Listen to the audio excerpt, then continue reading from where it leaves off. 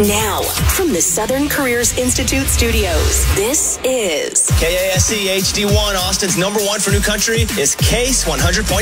Listen on the free iHeartRadio app for all your music, radio, and podcasts. Free, never sounded so good.